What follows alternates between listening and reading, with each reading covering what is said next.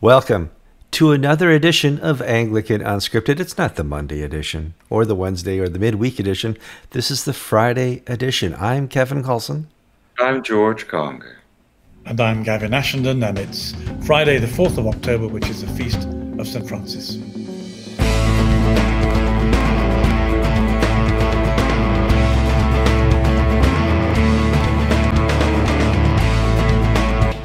Okay, welcome to the program, YouTubers. We love having you here. We love that you took time to sit down and click the play button. But you have responsibilities, and I know a lot of you. I, am going to skip over the first three minutes because Kevin just asked too much of us. No, I don't just click the like button. Just subscribe, comment. The comments are alive. You guys are just continuing the show in the comments. We appreciate it. If you've not subscribed, it's time to subscribe. We've not hit the 5,000 level yet. I'm looking forward to that day. Maybe we'll give a free car to somebody on the 5,000. No, we don't have any cars. Matchbox car. I'm sending out Matchbox cars to the 5,000th subscriber to the program. Lots of news to cover. I think we're all recovered from new wineskins. I've recovered. George had a good week. You, you got the. You're not in collar. Kind of uh, just an unscripted day here. Day off from work. Working from the kitchen, uh, dining room table at home today. Uh-huh. And Gavin, I, people aren't going to believe this because you're not pixelated, but you are actually in France this week. Yes, uh, it's even rain, raining, so I really should be pixelated. But amazingly, the, uh, uh, the, the French internet infrastructure is holding up in the face of the local tempests. So um, no one's as grateful as I am. Oh, okay. or or myself, the guy who goes crazy every time you kind of pixelate. Um, we got lots of news out there. We'll start with some international news. Kenya had their House of Bishops uh, meeting and voted to support women bishops. And I know in GAFCON, this is the big topic. And I thought we could uh, discuss this, starting with you, George, because a lot of people don't understand the East African revival was done by the Church uh, Mission Society. And therefore, there's a lot of women in leadership, and they have a different understanding of women in church leadership, George. Yes, I, I, I we, we, we, well, let's begin by saying, uh, there are Anglicanisms that differ around the world. Yes. On Wednesday and Thursday of last week, the every two-year meeting of the uh, Kenyan Synod gathered at All Saints Cathedral, Nairobi, and they've begun a process of revising the constitution and canons on the formation of dioceses and the elections of bishops. And they passed a number of resolutions which now will go to the diocese uh, for comment and change, and then come back in two years' time for further action. In revising the Episcopal elections, uh, they've been plagued by a number of lawsuits after contested elections, so they now say no election may be held until three months after the last man goes, so as to prevent any uh, any sense of influence of one man picking his successor. They want to increase the minimum age from 35 to 45 because they've not had good success with 30 year bishops. Uh, mandatory retirement age is 65. And the Kenyan constitution has long stated the, uh, that uh, all priests in good standing over a certain age may stand for election. Women have been priests in Kenya for going on 25 years. But they wanted to make this crystal clear, and so they're going to add an additional clause any priest in good standing, 45 years or over, changing the age, male or female. So clarifying those words. So this is not a change, but just the Kenyan church is making it crystal clear where they stand on this point. Women have stood for election in the past in Kenya, and the experience of the Kenyan church is that women uh, people who sort of throw up, oh, well, in the United States and in England, look what happened. When you had women, everything fell apart at that point. When, the Ken- when that's brought to the Kenyans, they say, we've had women and everything has been fantastic. Some of the best clergy, some of the most successful clergy, some of the greatest evangelists and preachers. So, from an so the experience argument doesn't cut it with the Kenyans. And what you touched on, Kevin, was that the East African revival, which touched Congo, Uganda, Rwanda, Burundi, Kenya, parts of Tanzania in the 1930s, basically set the church on fire, created many, many new believers, and was primarily sociologically female female led. The main leaders were men, of course, but the people who actually did the work of conversions in the villages, in the in the in the cities, were women evangelists. So Kenya is going to have a woman bishop sooner rather than later, and this will test the GAFCON fellowship, I believe. It will, because does not the Jerusalem uh, Declaration say we're just not going to go that far? You might remember I, that correctly. We're no, I, I don't believe the Jerusalem Declaration says that. Okay. I, I will have to be fact checked by our viewers on Wait, this. Yeah, we'll have to fact check it. I've not finished my coffee yet, so that's that's up to debate. And but what what happened in two years ago, South Sudan mm-hmm. uh, elected a woman as an assistant bishop of one of the more difficult areas, uh, and the GAFCON primates meeting gathered, and they had already pledged not to do this as a moratorium because Nigeria alone among the GAFCON provinces does not ordain women to the ministry, and they wanted everybody to be in the same spot. So they said, let's not do it. Well, the Sudanese didn't go to that meeting, and they didn't get the word, or if they got the word, they didn't uh, take it and inwardly read and inwardly digest it. But after that meeting, the new primate of South Sudan, Justin Badi Arani, Amani, said, yes, we'll have no more women bishops. We'll honor the moratorium. But see, the word is moratorium, which is an agreement not to act rather than agreement as to the merits of the underlying argument. Hmm. Now, Gavin, in the big world of Anglicanism, there's division amongst uh, women in clerical roles, uh, women's orders, we'll call it. Um, and some people are uncomfortable with this, probably yourself included. Yes, I don't disagree, of course, with anything that George has said, except that he did mix up ministry and orders, uh, as he described Kenyan uh, delight in the blessing that women ministers uh, have been. We described evangelists, uh, uh, uh, their work in evangelism and pastoral care. And of course, the notion that people who want to retain Anglicanism's uh, rootedness with the Western Catholicos tradition. Uh, uh, for us, women's ministry is is a delight. It's it's a gift of the Holy Spirit. What we're what we're discussing is whether or not ministry and orders are the same thing, and mm. we think they're not. The only reason we think they're not is because the Anglican Church was born out of the Western Church for one and a half thousand years. Anglicanism retained its orders. Now, it was free to not retain them. The Presbyterians didn't retain them. The Pentecostals didn't. The Methodists didn't. We're, we're free not to have them. But if we have them, how do we define them? Either we make it up as we go along, which is one possible way, or we keep what the church has understood. And the problem that people like me have is that when Jesus promised he'd leave the church into all truth and the apostles chose their successors and the apostolic inheritance became more and more clearly defined in things that really mattered, like creeds and order.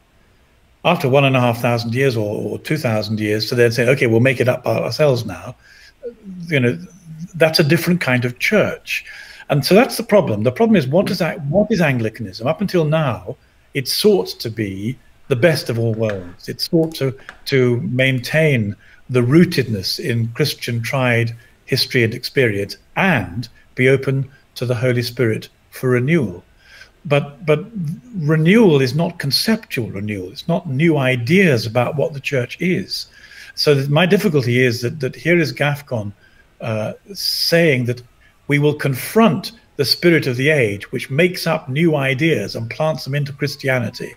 And here, one of the most powerful ones, which is which is feminism, uh, is is reconfiguring what the church has always understood to be it's it's it, it orders. Now, if GAFCON, liberal Anglicanism does that, and in that in that sense, liberal Anglicanism to many of us is not Anglicanism; it's a kind of secular Protestantism. But if if GAFCON does that too, then then what is Anglicanism? Where where is it to go if you get your theology from the Bible and the apostles and the way it's worked out and been tested in church history and retained at the Reformation uh, by Cranmer and by Hooker above all. Where do you go? And the answer is if Kenya proves to be the new model, there's only one place to go, and that's Rome. And many of us would say, well, We don't. We'd rather not be forced out to Rome in the name of feminism. Can the Kenyans not have women evangelists, women healers, women intercessors, women leaders, uh, women prophets? Can they not have all those things without also turning the definition of priest and bishop into something that it never has been? Now, George and you have a different understanding of the roles of clergy. Um, or the, or, the, strictest definition of, of the roles of cler- clergy. And I, I want to hear from George, you know, your kind of definition as a minister slash priest. Well, I don't think we have different def, I don't think we have different definitions because I think I would agree with the definitions that Gavin has placed. But I think it works out into how practically it works out. I don't I don't really view myself as a priest. I view myself as a minister. And that comes out of my training, my heritage, my experience, my background. I have uh, three female assistants, three female deacons. Um, they, we have successful women priests in the Diocese of Central Florida who do a wonderful job. Uh, we don't have a woman bishop and probably won't. Now, these are, if you will, practical and pragmatic arguments. And my I'm on a, I'm at a different pay grade than Gavin. Gavin's charged to defend the faith and to teach the faith. I'm not a bishop. I'm a priest, and I uh, see my function differently. And I'm not really that exercised on the issue of women's orders. I appreciate what Gavin says, and I hear the arguments of a priest being an icon of Christ at the altar and all this and that.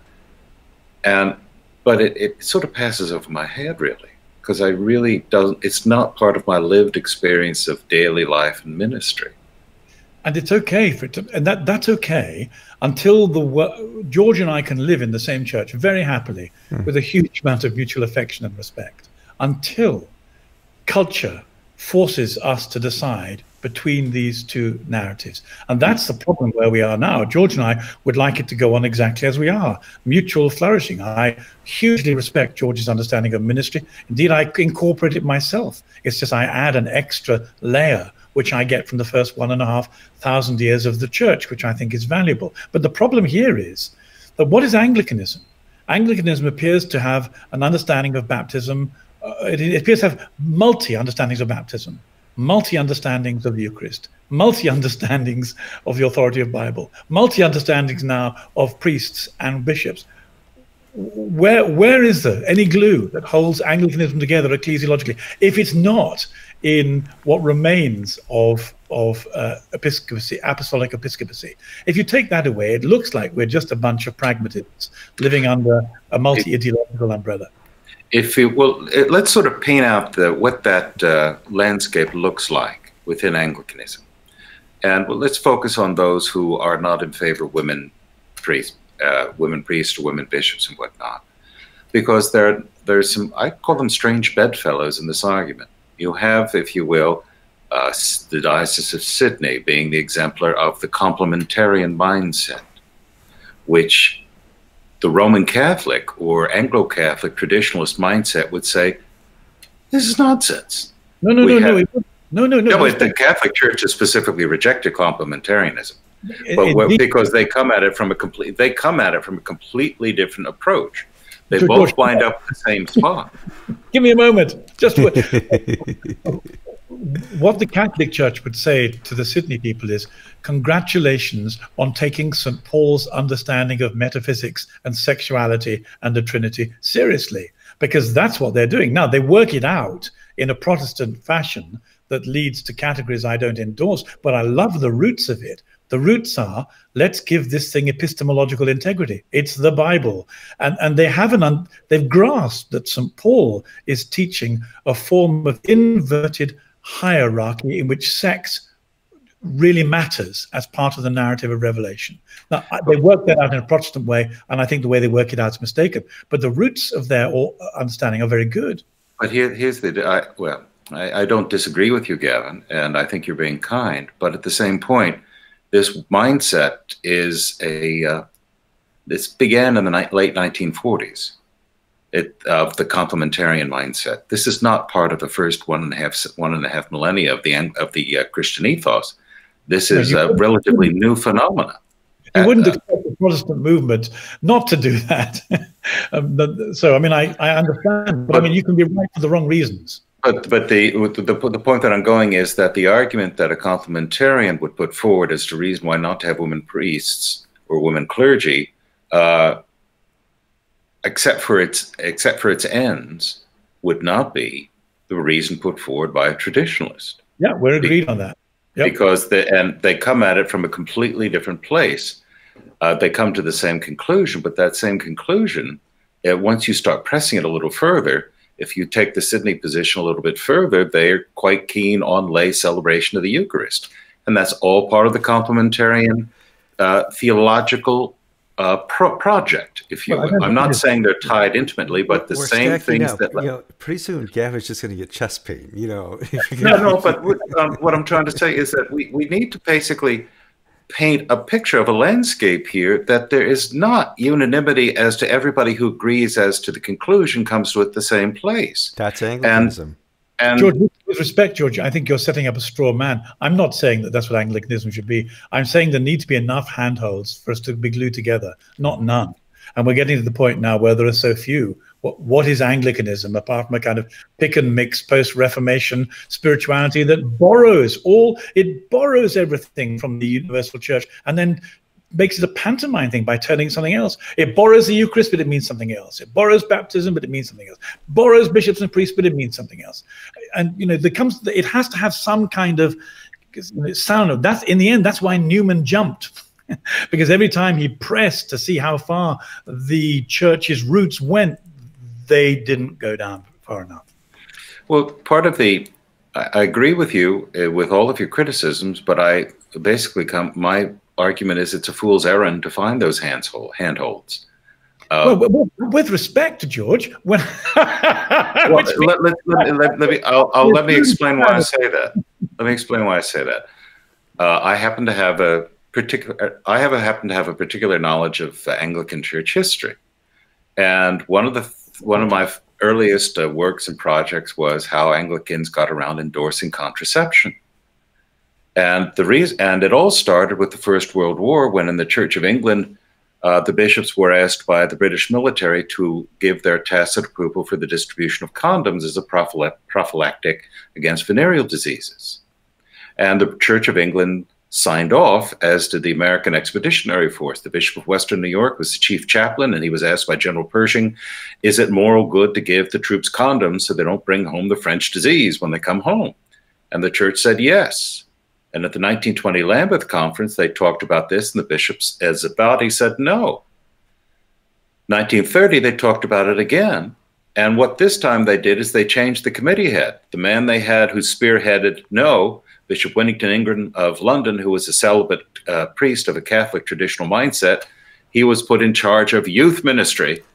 And they had uh, William Temple and Company take uh, human sexuality. And they said, yes, contraception is a moral good for all these pragmatic reasons. Well, the Catholic Church responded with uh, the encyclical Casti Connubii, attacking Anglicanisms for making it up on the fly. But what happened in Humanae Vitae? what Pope Paul VI turned down was the Anglican version of human sexuality, which Francis is doing his very best to impose on the Catholic world. Mm. So this this idea that Catholicism is an unchanging rock, Anglicanism is merely the canary in the coal mine that Catholicism tests out some of the latest and craziest stupidities. But that's, with the Amazon coming up, you're going line. to have you're going to have married priests. You're going to have women deacons. You're going to have birth control. In Germany, you're going to have the blessing of homosexual unions. And this is the Roman Catholic Church I'm talking about, not the Episcopal Church. George, so to, to try to find a handhold in some unchanging thing, I really think you need to go to Orthodoxy because you're not going to get it in Catholicism. Okay, so so so here's a brief reply. that was very well done, by the way. I really like that. Was that. good. That was good. um, so, so first of all, in, instead of going to, to birth control uh, and and secularism uh, and Anglicanism as a kind of, of canary for progressive culture, which I don't believe in, uh, my views are formed by the Holy Spirit, uh, by the Bible, and by church history. So the Holy Spirit said to me, Gavin, be an Anglican when I was converted in a, in a evangelical rally as a law student. So I became an Anglican. I asked him, I said, Lord, I'd like to be a Pentecostal or Catholic. And he said, be an Anglican. So I said, fine, fine. So then I, I, I, become an Anglican and I start learning what Anglicanism is, and I'm really quite impressed. I, I, I love its love of the Bible. And then I slowly begin to read about church history and I go, this is really wonderful. I, I am part of a church whose umbilical cord is rooted right through without interruption through the saints and in, into the apostolic era, into the Bible. This is very exciting and lovely. And then in my lifetime, for, for political and progressive reasons, Anglicanism gets changed under my feet. Now, I can either, what I'm doing is I'm staying, I'm hanging on as long as I can.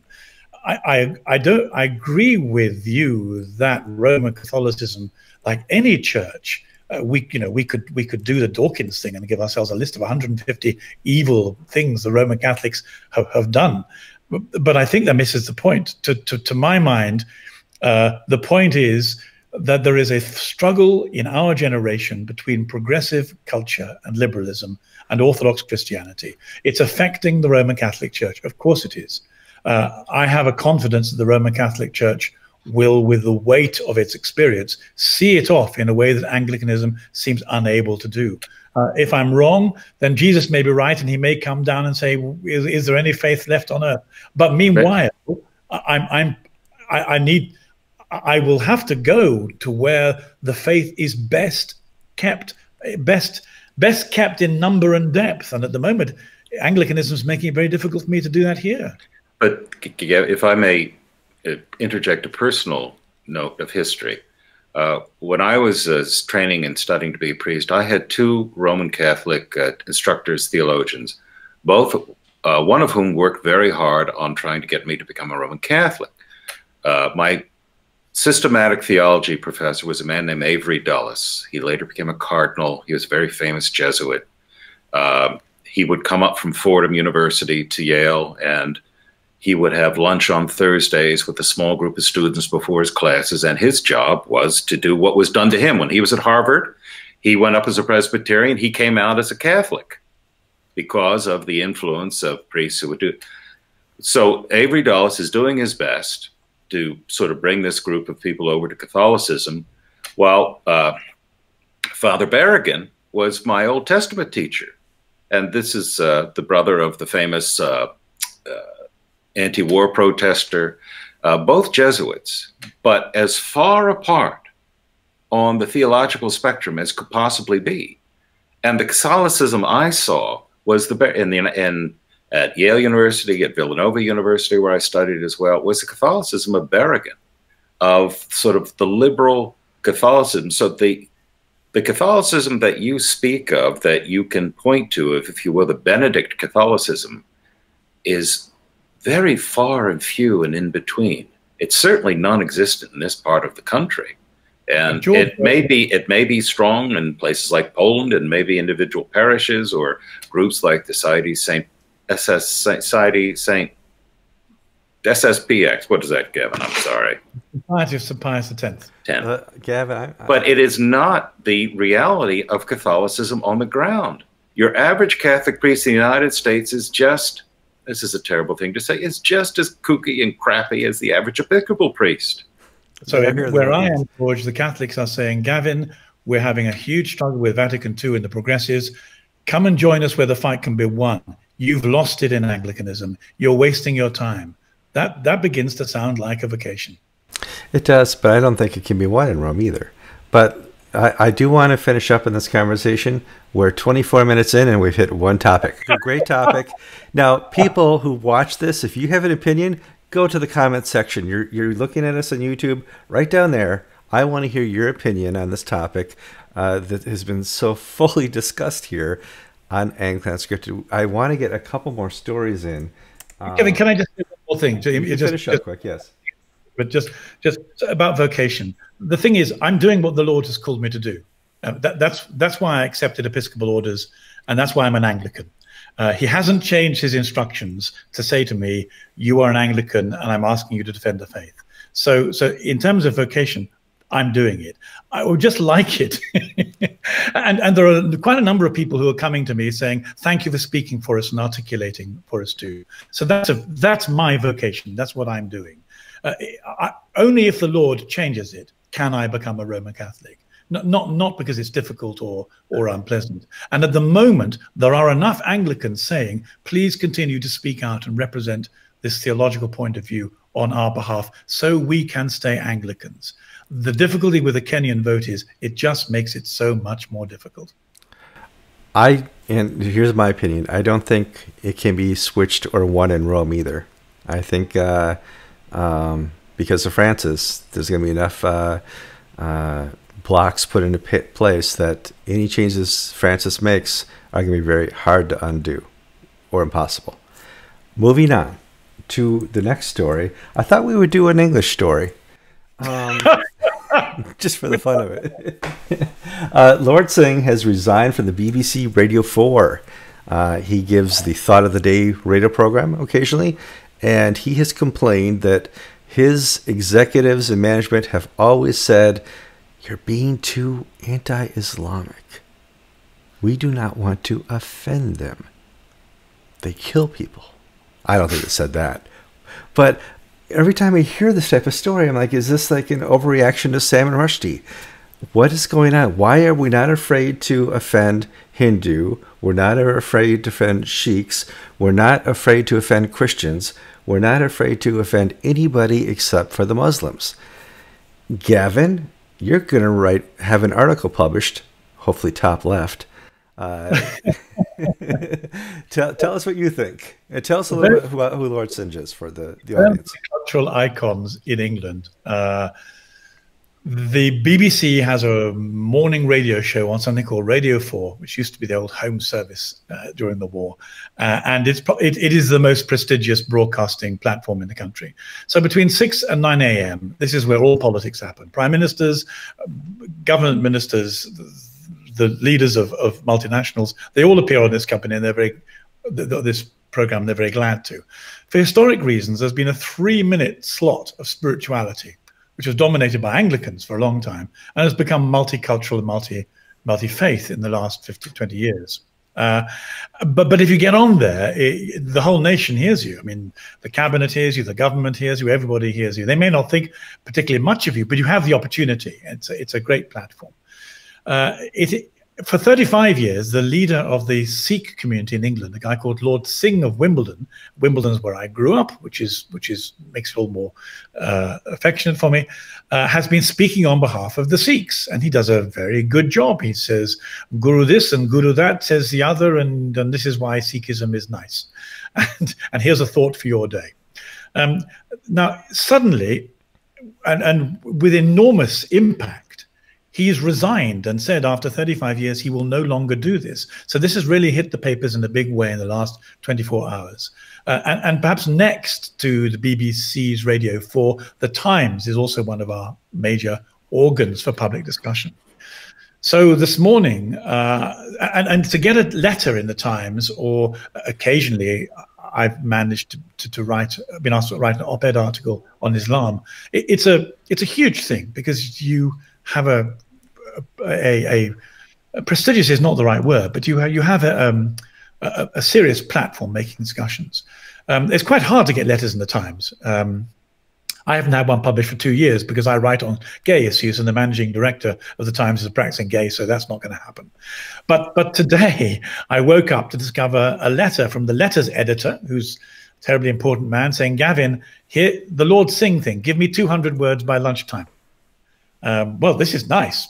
so I've written 200 words and sent it to him, and hopefully it'll be published tomorrow. And effectively, I accuse the BBC, having been given this opportunity, uh, of of instead of telling the truth about things, of preferencing identity politics and Islam, and because Lord Singh says so, censoring everybody else. So I've been censored by identity politics. Lord Singh's been censored by Islam, uh, and I'm pleased to make common cause. And I hope very much if they take my letter and publish it tomorrow, then on the back of Lord Singh, who's much more eminent and famous than me, uh, this will launch a public debate and have the BBC held more accountable for its extraordinary lurch into leftist propaganda that it's pursued in the last 10 years. So um, I was glad to be asked. I've done my best. We'll see what happens.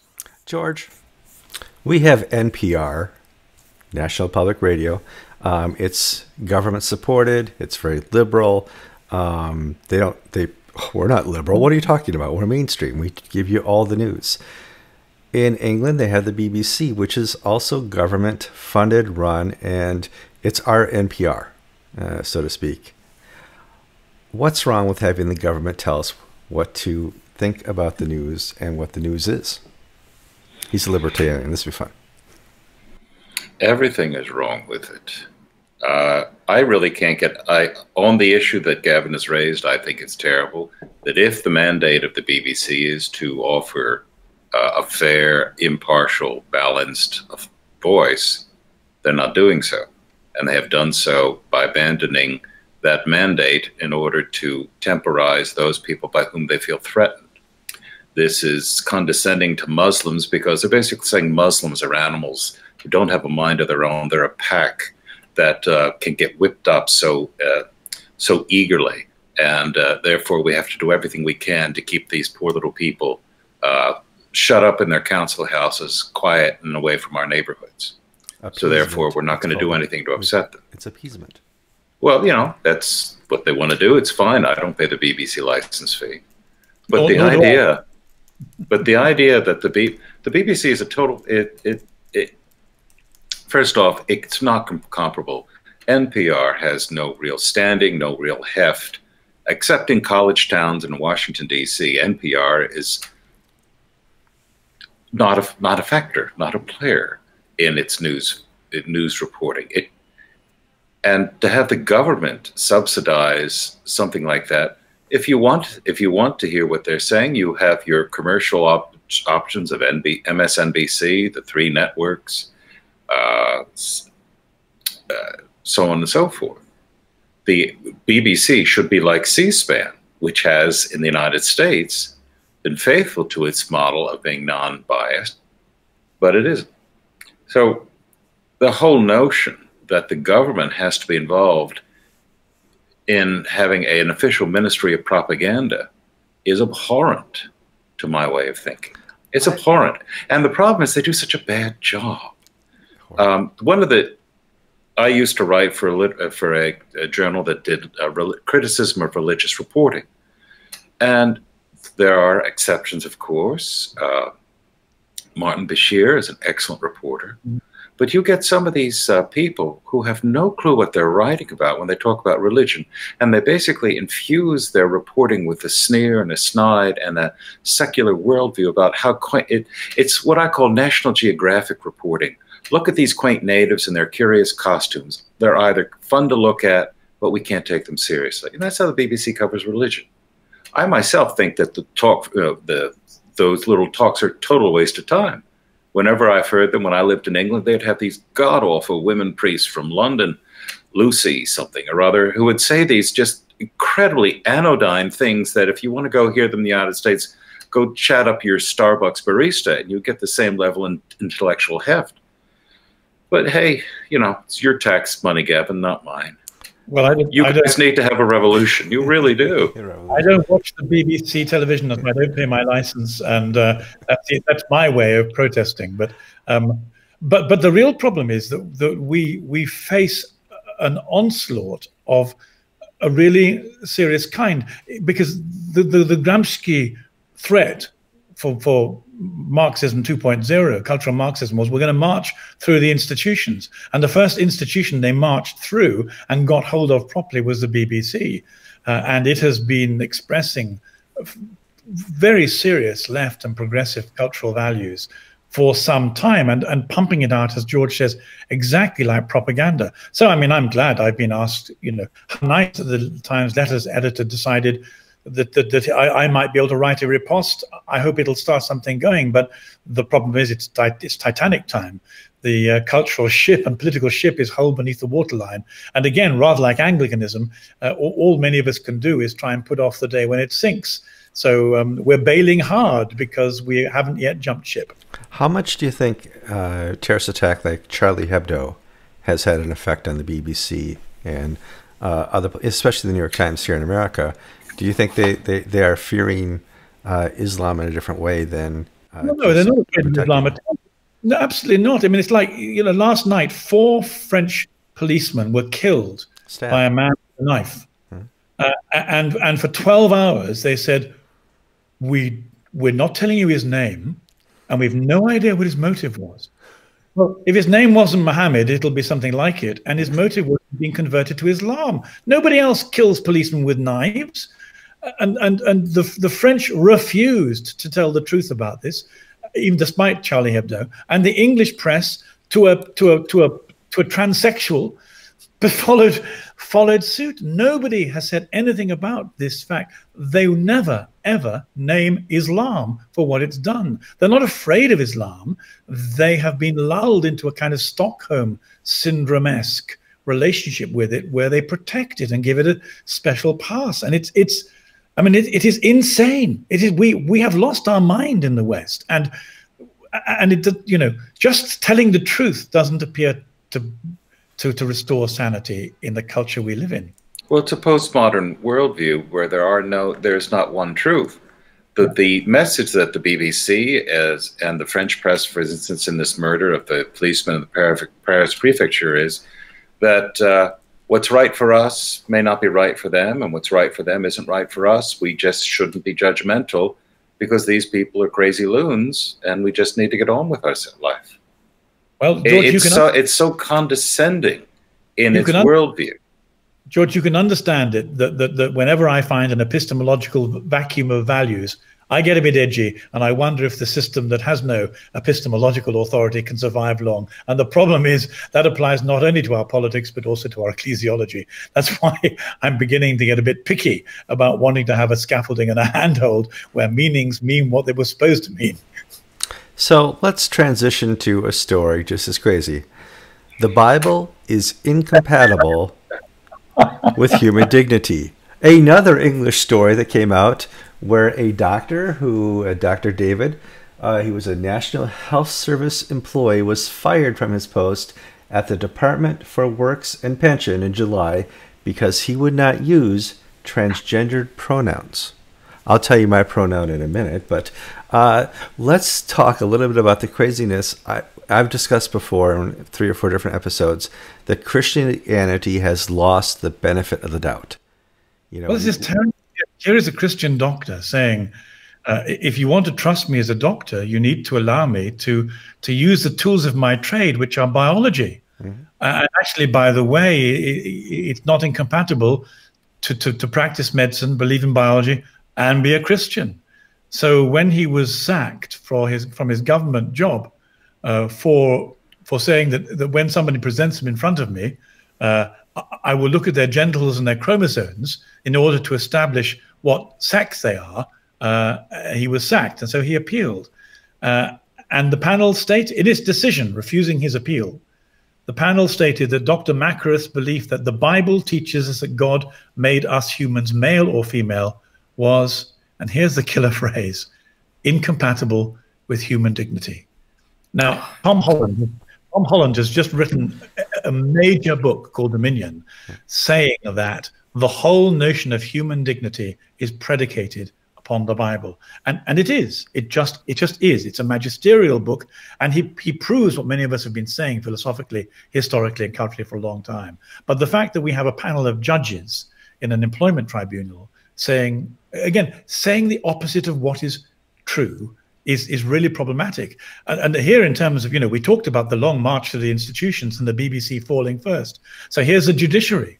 We have three low level employment judges uh, not telling the truth because of their, their their personally biased in a way that's not totally different from 11 high court 11 supreme court judges not telling the truth because they're politically biased.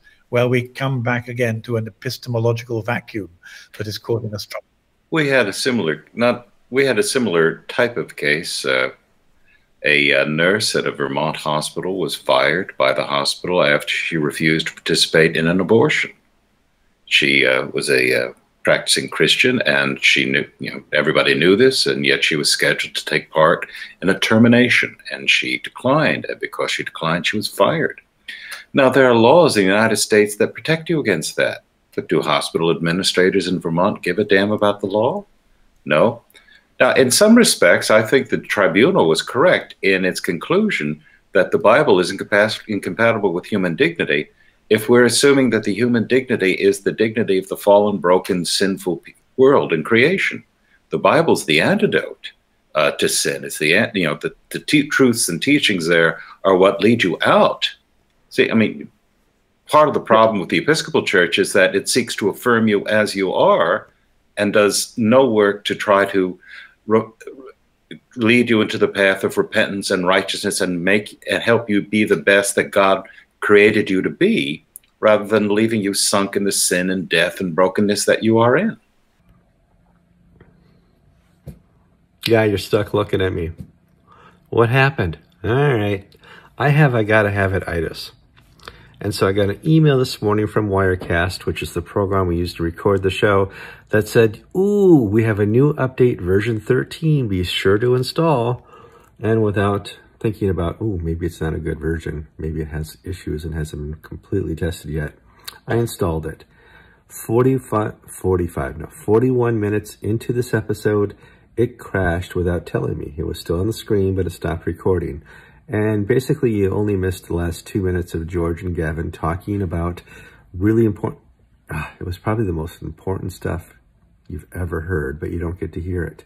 It could have been an, its own testament in, in Scripture, but you missed it because of Wirecast. I'm mad at you, Wirecast. Uh, but to show that we do read all the comments, one of our viewers said, Kevin, I noticed on screen that you have the new iPhone 11. What do you think about it? I love the new iPhone 11 Max. I got it the first day because it has three cameras. And if you guys don't know anything about me, I love video and I love taking pictures. Um, that's why I love living on a beach. I like to take pictures. And so I like uh, being able to do telephoto, uh, regular pictures and ultra wide. I stand on the beach and I ooh and ah and I take ultra wide pictures uh, all the time. It's a lot of fun. If you have the extra few hundred dollars, be sure to buy it. If you're going to put this on a credit card, don't buy it. It's not worth putting on a credit card. Never use credit card. Mm -mm. You've been watching Anglican Unscripted episode 540. I'm Kevin Kallsen. That over there in the middle used to be George. And on the far right of your screen was Gavin Ashenden. They're just not minutes right now. What did you do, Kevin? All right, I have to go uninstall 13 and put 12 back on. Sorry, guys.